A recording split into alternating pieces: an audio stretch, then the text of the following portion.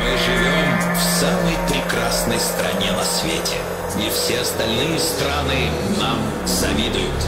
Люди — это венец творения природы, а наши люди — полный